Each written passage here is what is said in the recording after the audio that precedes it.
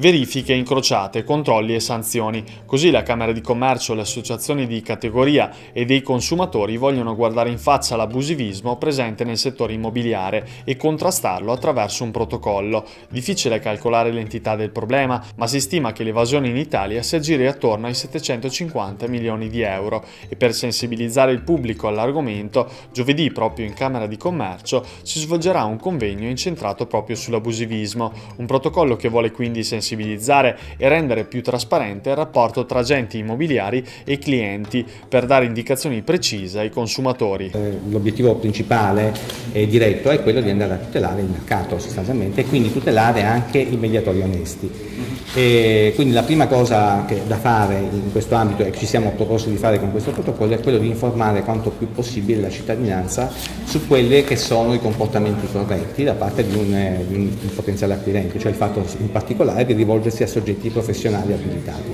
Il eh, campo della, del protocollo mh, lavora sia sul contrasto all'abusivismo, quindi l'esercizio della mediazione da parte dei soggetti non abilitati, sia quello del contrasto a comportamenti scorretti da parte di mediatori invece abilitati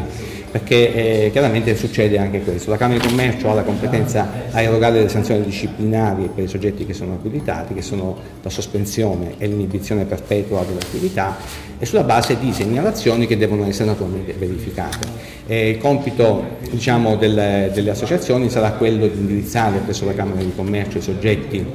che lamentano comportamenti scorretti o che si siano affidati a, a mediatori abusivi, sarà poi compito della Camera di Commercio andare ad accertare e verificare le effettive responsabilità. Per arginare il problema un grande aiuto può arrivare direttamente dai consumatori che in qualche modo hanno la possibilità di tutelarsi e tutelare il mercato. Informando correttamente i consumatori che quando